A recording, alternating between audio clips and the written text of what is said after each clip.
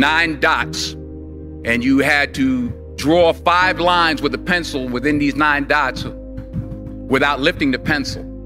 The only way to do it was to go outside the box. So don't be afraid to go outside the box.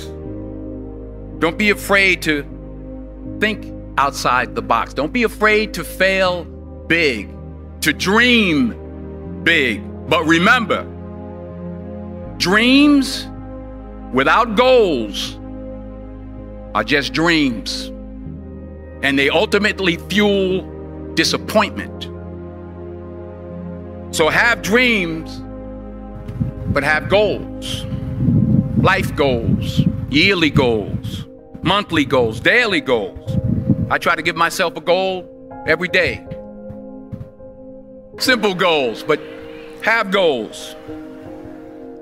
And understand that to achieve these goals, you must apply discipline and consistency.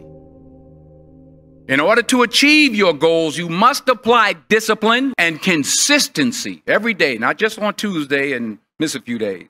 You have to work at it every day. You have to plan every day. Hard work works. Working really hard is what successful people do. And in this text, tweet, twerk world that you've grown up in, remember, just because you're doing a lot more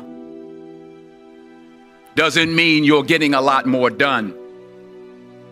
Remember that. Just because you're doing a lot more doesn't mean you're getting a lot more done. Don't confuse movement with progress. My mother told me, she said, yeah, because you can run in place all the time and never get anywhere. I found that nothing in life is worthwhile unless you take risks. Nothing. Reggie Jackson struck out 2,600 times in his career, the most in the history of baseball. But you don't hear about the strikeouts. People remember the home runs. Fall forward.